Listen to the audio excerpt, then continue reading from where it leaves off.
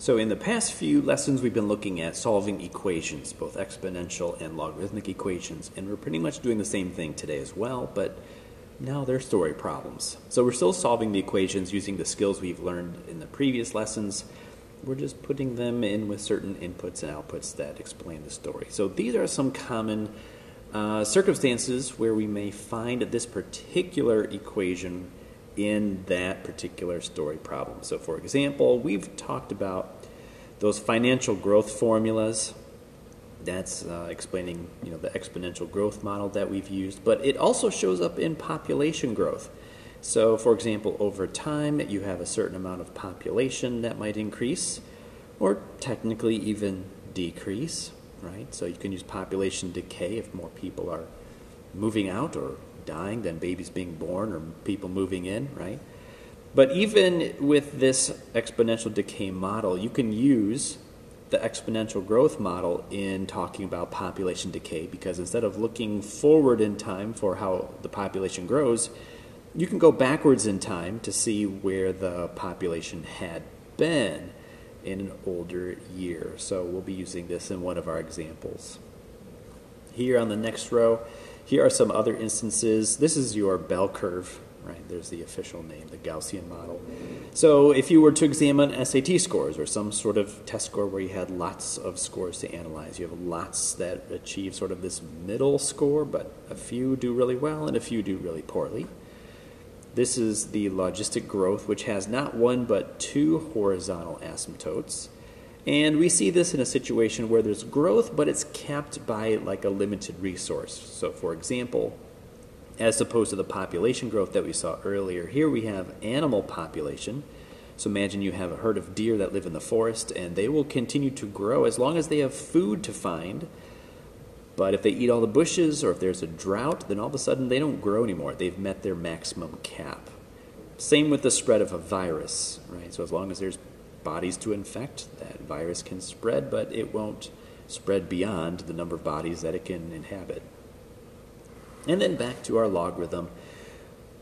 We see this in instances like dealing with earthquakes and measuring the Richter scale. So that's a brief overview of the types of story problems we can analyze with these types of exponential and logarithmic equations. So let's go to our examples. Back to the financial formulas. We've done financial formulas before. But what we're doing is we're asking a different kind of question. Here's example one. We have $5,000. We're putting it in a saving account. The interest is compounded continuously, so that tells us which of the two financial formulas we're using. At the end of two years, we have this much money, 54.16 and 50 cents. So the question is, what is the interest rate? So in the past, we've been able to start with a principal and figure out how much money we accrue. But what's different here is that instead of trying to figure out how much money we accrue, we're told how much we uh, started with and how much we ended up with. And so now we can ask either questions like how much time does it take, or if we know the time, how much of an interest rate do you have? And those are exponents. So now we're going to use the skills we've seen in our past few lessons to solve for missing exponents. That compounded continuously formula, that's the PERT formula. So the amount is the principal times the e raised to the power of rate times time. So that spells the word PERT right there. So let's plug in what we know. So the 541650 is on the left. The 5000 is on the right. That's raised to the power of the rate times the time. So rate is unknown and the time is 2. So that's the variable. It's up there in the exponent. So we've learned that if you're trying to solve for these, you need to first of all find this little base and the exponent that's what you want to isolate first. So we're going to divide away the 5,000 from both sides. So we'll use a lot of decimals here because these numbers are very sensitive to small changes. I'll put the 2 in front, so e to the power of 2 times the rate. So that's our first step. Get the exponential piece by itself. Then, in order to solve an exponential, we need its opposite. We need a logarithm, matching the base of e. So we have the natural log of 1.0833 equals the exponent of 2r. So 2r is not the exponent anymore. It is out of the exponent position because we converted it from an exponential form to a logarithmic form. So I'm using my calculator here. Again, we have a very tiny decimal. 0.083. Um, is that right? Yeah, 0.0800 is what that turns out to be, and then we'll divide away the 2. That's our interest rate, 0.0400. So if you move the decimal two spaces to the right, then that means you have a 4% interest rate. Let's look at another variation on this right below that.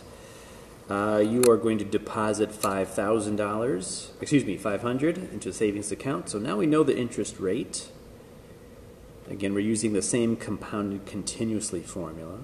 And the question is how long until your money doubles? So notice it, it appears as if we have two unknowns. We're starting with 500, but do we know the amount? Yes, we do. Here's the clue. Your money is going to double. So you need to double that 500 in other words, the amount is going to be 1,000, so you only have the variable of time. How long does it take to go from 500 to 1,000 when you have this interest rate? And I've already turned that into a decimal value. Okay, so here's our amount of 1,000. That equals the principal of 500 times e to the power of the rate, 0.0675, times the time frame of t, there's the variable, right? So find the exponential piece. There's your exponents on the base of e. You want to isolate that first, so divide away the 500.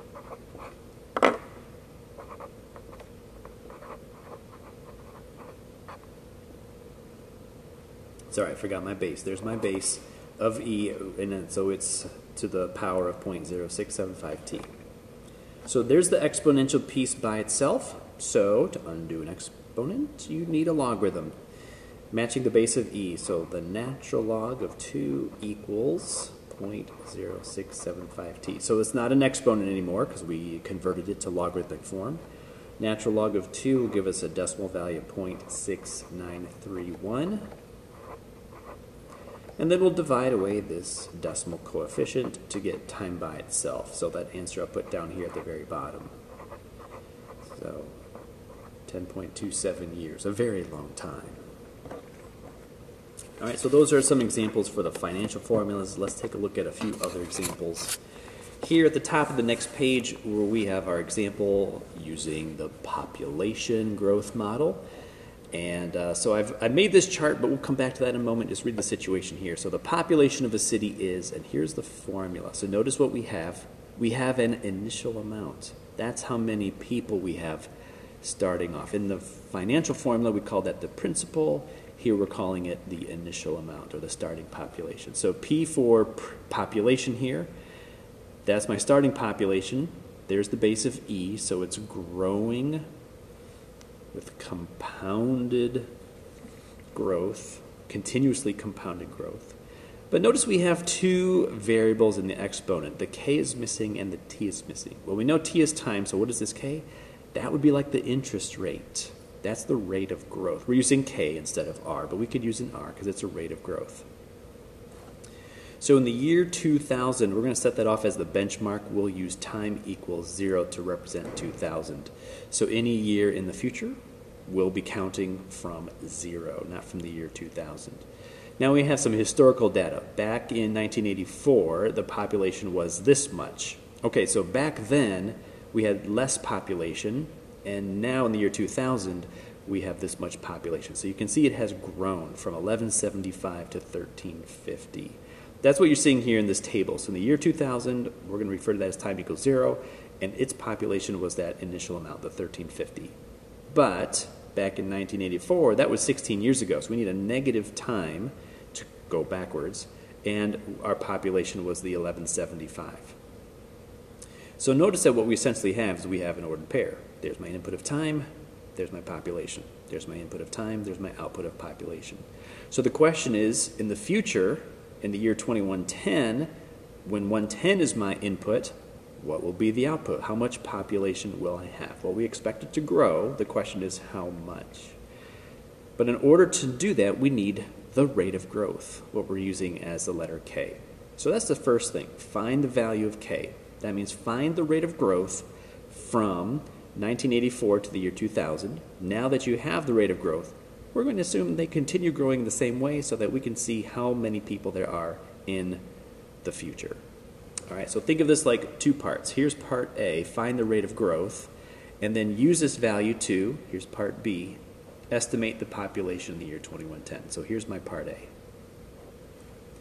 So we're using this formula, and I'm going to use this information here for my time frame of 16 years ago. So here's my population of the 1175. That's going in here. That equals the 1350 times the base of v raised to the power of k, which I don't know, times the time, and that time is the negative 16. So that's being multiplied together. That's not being subtracted. All right, so step number one, you have to isolate that exponential piece, so divide away the 1350 from both sides. So we will have a decimal value of 0.870. That equals e to the power of negative 16k. That's an exponential, so undo that with a logarithm. Natural log of 0.870 equals the exponent of negative 16k. Natural log of this decimal value becomes a negative 0.139. And now to isolate the variable, we're going to divide both sides by negative 16. So notice Negative divided by negative will give us a positive result. So 0.00869. That's a very small growth. If you were to move the decimal two places to the right, that's 0.8 of a percent. So now that we have the rate of growth, we can answer the question, how many people are there in this future time frame? So P is what I want to figure out. How many people are there? There's the formula with the 1350. There's the e to the power of rate times time. So the rate is this decimal that we just got, the 0.00869. And that's being multiplied by the time. So in the future, we'll use the 110 for my time. And notice my variable is by itself. So I don't have to manipulate anything. I don't have to turn it into a logarithm or anything like that. Just type all of that into your calculator and that will give you 3511.364. So we're going to round that down to, say, about 3511 people. So 3,511. We'll take a look at a couple more. We'll do example three and then down there, example five. So example three, here we have exponential decay. You can take a look at the base. There's your base. There's your exponent. Notice the base is less than 1. That's how we know it's going to decay over time. So the A stands for the amount of this material, and again, that I stands for the initial amount of the material uh, that you're starting off with. There's your base of 1 half, and now the exponent is actually a ratio. It's the time that we have, sort of think of it like calendar time, over k, which is another kind of time. It's actually the time it takes for the material to decrease by exactly half. So it's called the half-life value or the half-life number. So suppose you have the half-life of this radioactive substance, this half-life number is 1620 years. So if we actually waited 1620 years, our initial amount of 10 grams would be exactly half. We'd have exactly five.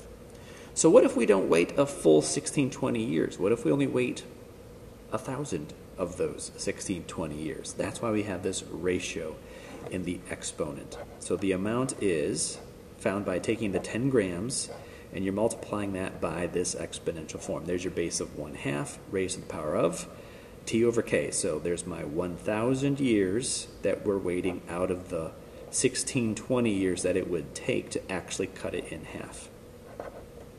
So again, notice my variable is already by itself. We don't have to convert this into a logarithm or anything. We just go right to our calculator.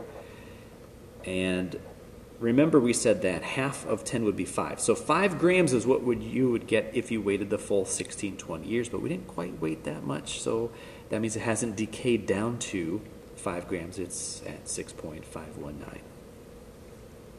All right, let's finish up with an example using the Richter scale. This is example number five. Here's a little intro. It says on the Richter scale, the magnitude of an earthquake of intensity I, okay, so let's talk about this. How much energy there is in an earthquake is measured with intensity, but the intensity is often such a big number that what we do is we convert it onto a different scale. That's the Richter scale that you know. So the Richter scale is a logarithm, and notice there are two different intensities. The reason why there's two is you might want to compare one earthquake that you had with another earthquake. All right, so you might take today's earthquake and compare it with yesterday's earthquake, and you can see the change between them. But if we're not comparing it to some other earthquake, then that means we just want an intensity of 1. So we'll just drop a 1 in right there, which means the denominator is just 1. So find the magnitude of the earthquake given that the intensity is 68,400,000. Yeah, this is why we don't talk about the intensity because the numbers are so huge. We don't even know what that means. So what we do instead is we convert it into a logarithm. So we're taking the log. Notice no base is presented, so that's the common base of 10 of this really big number. So you can just go right to your calculator because the variable is already by itself. And that might look more normal. A Richter of 7.835. Yeah, that, that sounds like numbers we've heard in the past. So it takes the logarithm takes these really big inputs and outputs a very small number. And uh, we'll finish up here.